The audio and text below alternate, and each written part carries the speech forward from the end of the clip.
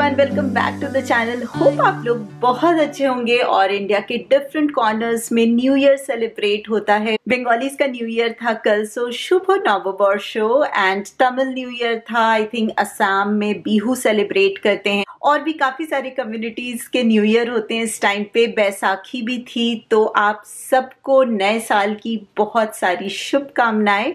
मैंने new year पे specially कुछ भी नहीं किया, क्योंकि लास्ट टू थ्री डेज़ से ऐसे ही थोड़ा लेजी लेजी चल रहा था। वीकेंड भी बहुत लेजी था रेनी डे था और पता नहीं क्या हुआ था। लाइक कभी कभी होता है ना कि एज इफ़ कोई रीजन नहीं होता, बस आप लेजी हो जाते हो और आपका कुछ करने को नहीं मन करता तो मेरा कुछ ऐसा ही डेज़ चल रहे थे और मैंने कुछ भी नहीं किया। और आज है ट्यूसडे अभी आफ्टरनून के टू ओ क्लॉक हो गए येशा को लाने का टाइम होने वाला है। टू थर्टी उसकी छुट्टी होती है तो हम around two twenty two twenty five जाते हैं, पहुँच जाते हैं जस्ट फाइव मिनट्स और आपको ब्लॉग के टाइटल से पता तो चल ही गया होगा कि हमने फाइनली इंस्टेंट पॉट ले लिया है। अगर आप मेरा ब्लॉग फॉलो करते हो तो आपको पता होगा कि जनवरी में हमने दिसंबर के सेल में दो अप्लायंसेस लिए थे, एक किचन एड का स्टैंड मिक्सर जो आप लोगों ने काफ़ी बारी देखा होगा मेरे ब्लॉग में। और स्लो कुकर लिया था, क्रॉक पॉट लिया था। और जब मैंने आप लोगों के साथ शेयर किया तो मोस्टली सबने यही बोला कि उतना ज़्यादा यूजफुल नहीं है, बहुत ज़्यादा टाइम टेकिंग है। इनफैक्ट मेरी फ्रेंड के पास भी सेम ब्रांड है कॉस्को से एंड शी वॉज़ लाइक की थ्री ईयर से है मेरे पास, और मैंने शायद एक या दो बार यूज़ किया, बहुत ज़्यादा टाइम टेकिंग है। स्पेशली हम इंडियन कुकिंग में वो ज़्यादा वर्कआउट नहीं करेगा। तो यूज़ तो किया नहीं था हमने, और कॉस्को में रिटर्न करना बहुत ईजी होता है तो हमने रिटर्न कर दिया था। और टाइम पे लाइक 80 परसेंट लोगों ने रेकमेंड किया था इंस्टेंट पॉट बट सेल खत्म हो गई थी और प्राइसेस बहुत हाई थे तो मैंने नहीं लिया। But last week Best Buy में मुझे अच्छा सा एक प्राइस मिला। मैंने बड़ा वाला इंस्टेंट पॉट नहीं लिया है थ्री क्वार्ट वाला लिया है। आई डोंट नो सही है, गलत है, ज़्यादा छोटा है या बड़ा है बट एनी अब ले लिया है तो मैं अब इसको चेंज नहीं करने वाली हूँ, क्योंकि इंस्टेंट पॉट को यूज़ टू होने में भी बहुत टाइम लगता है। चीज़ें समझनी है, अब अभी तक मैंने यूज़ नहीं किया है, बस ओपन करके सेट कर दिया और छोटू सा है, इसलिए मेरे किचन के काउंटर टॉप पे भी बिल्कुल सेट हो गया। और अगर आपके पास इंस्टेंट पॉट है तो प्लीज़ कॉमेंट बॉक्स पे अपनी सारी एक्सपीरियंसेस शेयर कीजिए।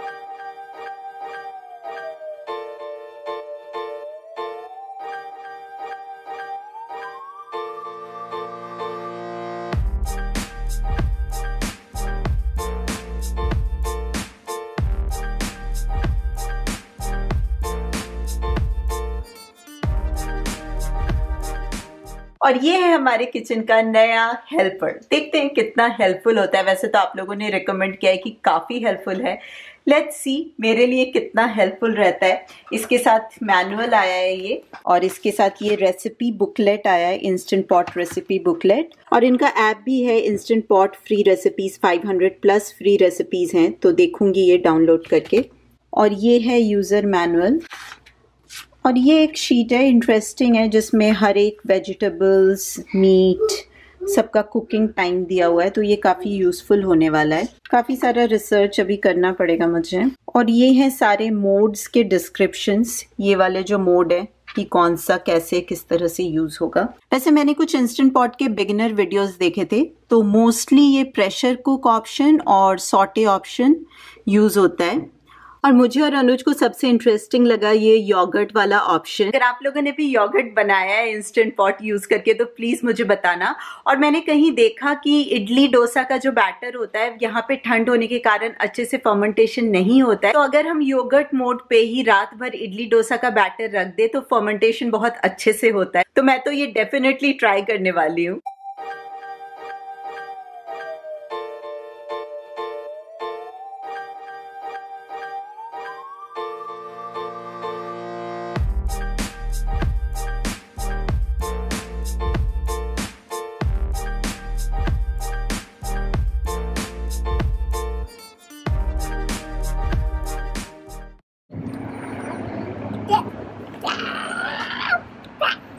येशा को पिक करके आती हूँ फिर मिलती हूँ आप लोगों से और आप लोगों में से बहुत लोगों का मुझे बहुत टाइम से मैसेज आ रहा है कि मैं अपना कुकवेयर शेयर करूँ।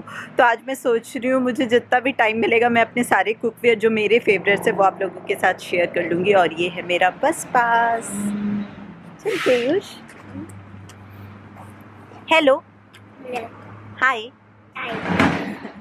और इस जैकेट के बारे में भी आप लोग पूछ रहे थे कि मैंने कहाँ से लिया ये टू इयर्स पहले मैंने सीयर्स से लिया था। मुझे सीयर्स की शॉपिंग इतनी अच्छी लगती थी। बट सीयर्स क्लोज हो चुका है कैनेडा में। आई नो मुझे बहुत अच्छा लगता था। मैं सीयर्स से ही मोस्टली कपड़ों की शॉपिंग करती थी। रीज़नेबल रेट बहुत सारे ऑप्शंस होते थे और थोड़ा इंडियनाइज फ्रॉक्स एंड ऑल भी मिल जाता था बच्चों के लिए। बट बंद हो गया है। अब तो मेरा नेक्स्ट फेवरेट ओल्ड नेवी है।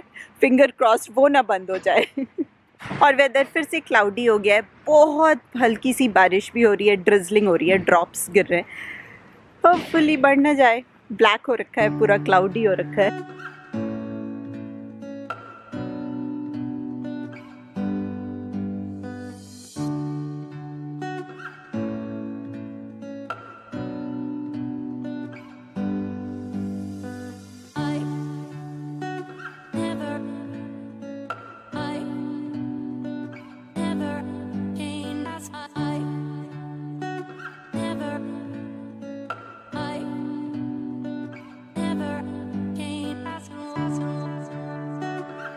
घर आ गए हम केश अभी सो रहा है और ये शब प्ले कर रही है। अभी मुझे डिनर बनाना है, अरबी बनाने वाली हूँ आज।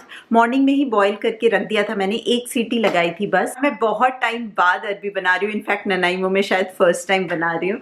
तो डिनर बनाने से पहले मैं जल्दी से आप लोगों को यूटेंसिल्स दिखा देती हूँ, जो भी मेरा फेवरेट कुकवेयर्स है।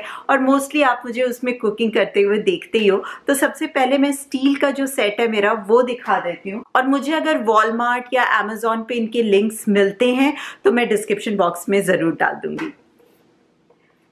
तो जो स्टील का मेरा सेट है, वो है लगोस्टीना का। उसमें ये एक प्लेन पैन है और ये तीन इस तरह के जो मोस्टली आपने मुझे चाय बनाते हुए या फिर दाल एंड राइस बॉईल करते हुए देखा होगा तो तीन साइज़ के पैन है। सबसे छोटू वाला ये है, जिसको मोस्टली मैं दूध बॉईल करने के लिए या फिर चाय बनाने के लिए यूज़ करती हूँ।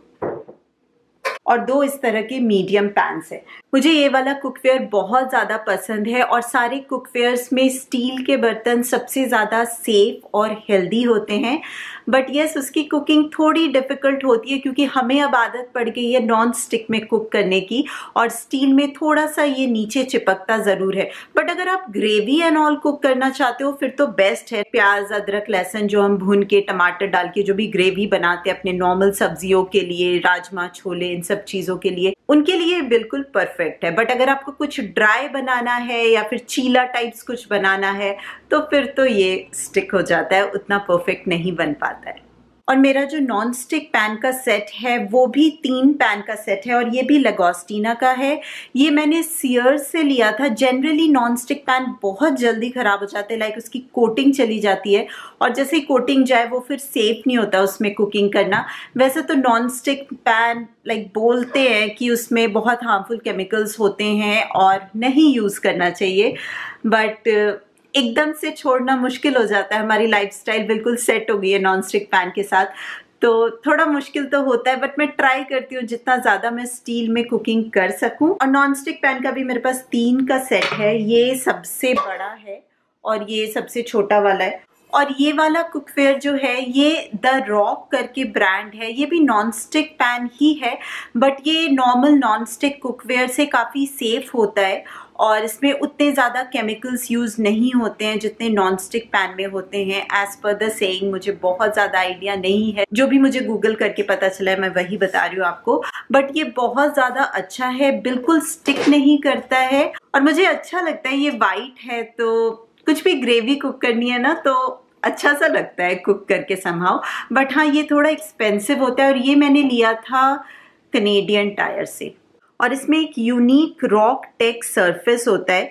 और ये वाले पैंस 50 परसेंट हार्ड होते हैं और three times more non stick होते हैं than normal traditional non stick cookware से। और ये तीनों कुकवेयर जो मैंने आपको दिखाया, वो सारे डिश वॉशर सेफ़ है। तो मुझे बहुत ईजी होता है कि एंड ऑफ़ द डे अगर डिश वॉशर में उतना स्पेस है, कितने बड़े पैंस और पॉट्स उसमें आ सकते हैं तो मैं डिश वॉशर में ही वॉश कर लेती हूँ। नेक्स्ट ये स्टील वाली कढ़ाई मैंने थोड़े दिन पहले ही आपको बताया था कि मैंने बिग बाज़ार इंडिया से लिया था और मुझे एग्जैक्टली exactly ब्रांड नहीं पता है। इसकी बेस्ट बात ये है कि इसका हैंडल गर्म नहीं होता है कुकिंग करते टाइम और ये वाला है कास्ट आयरन का वॉक जो मैंने कॉस्को से लिया था, काफ़ी लाइट वेटेड है।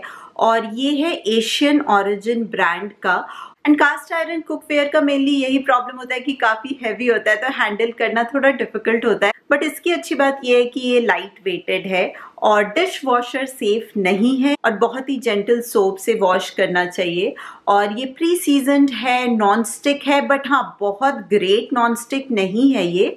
नीचे थोड़ा सा तो चिपकता ही है। जो मेरा नेक्स्ट फेवरेट है, वो है ये वाला पैन ग्रीन लाइफ का है। नॉन स्टिक है बट ये बहुत ही ज़्यादा हेल्दी है क्योंकि ये सेरेमिक पैन है। आप गूगल पे सर्च करके देखना नॉन स्टिक सेरेमिक पैन और ग्रीन लाइफ बहुत ही अच्छा ब्रांड है उसके लिए। ये मैंने वॉलमार्ट से लिया था। सेरेमिक पैन बहुत ही ज़्यादा एक्सपेंसिव होता है बट जब आप हेल्दी कुकिंग और हेल्दी कुकवेयर के बारे में रिसर्च करोगे तो सबसे टॉप में आता है स्टील और नेक्स्ट आता है सेरेमिक पैन और ये मैं बहुत बचा बचा के यूज़ करती हूँ, ज़्यादा आपने नहीं देखा होगा इसको मुझे यूज़ करते हुए। एक तो ये छोटा है लाइक इसकी थिकनेस बहुत ज़्यादा नहीं है, क्योंकि बड़े पैंस लो तो फिर और ज़्यादा एक्सपेंसिव होता है। तो मैं बस एक यूज़ करके देखना चाहती थी, इसलिए मैंने ये वाला पैन लिया था। तो हाँ छोटी मोटी ड्राई सब्ज़ियाँ बनाने के लिए या फिर जस्ट तड़का बनाने के लिए अच्छा है ये। बट मैं इसको बहुत बचा बचा के यूज़ करती हूँ, क्योंकि इतना एक्सपेंसिव है और अच्छा है तो मैं नहीं चाहती कि ये खराब हो जाए। And last but not the least in fact आज ही मुझे कमेंट आया था किसी का she is also in Canada कि मैं कौन सा पैन यूज़ करती हूँ रोटी बनाने के लिए। तो ये सिंपल सा वॉलमार्ट से नॉन स्टिक पैन लिया था मैंने, और ये स्टार फ्रिट का है। मुझे इसमें बहुत ज़्यादा प्रॉब्लम आती है। लाइक like, ये तो फिर भी फोर फाइव मंथ्स हो गए हैं इसको यूज़ करते हुए और अभी तक अच्छा है परफेक्ट कंडीशन पे है कोटिंग बिल्कुल खराब नहीं हुई है।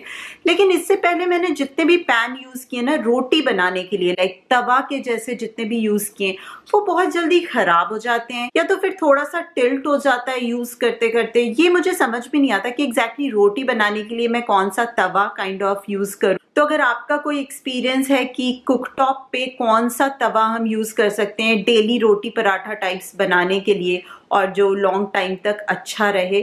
फ्यूचरा का मैंने सुना है, अगर आपका कोई भी अच्छा एक्सपीरियंस है तो प्लीज़ मेरे साथ ज़रूर शेयर करना। तो ये थे मेरे सारे कुकवेयर के डिटेल होपफुली आपको ये थोड़ा इंफॉर्मेटिव लगा होगा और ये बहुत ही लॉन्ग अवेटेड टॉपिक था। आई एम हैप्पी कि आज मैंने ये कवर कर लिया है और अब मुझे कोई कंप्लेन्स नहीं आएगा और आई एम सो सॉरी कि मुझे बहुत लेट हो गया इस टॉपिक के बारे में बात करने में। तो चलिए अब जल्दी से डिनर बनाती हूँ।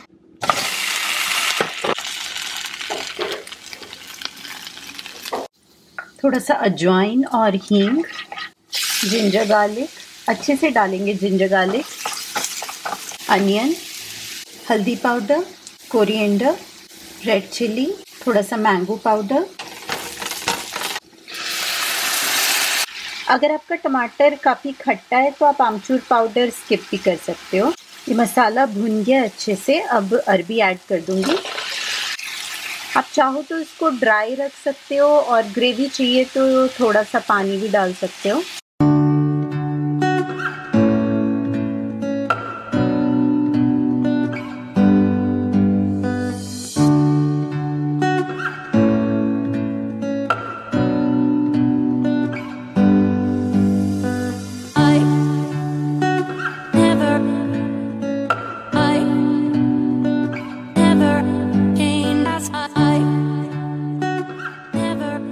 अभी केवश सो रहा है तो इसी टाइम पे हमारा स्टडी टाइम होता है, क्योंकि जब वो उठ जाता है ना तो वो स्टडी नहीं करने देता है येशा को वो उसके पेंसिल उसके पेपर पे भी मार्क कर देता है।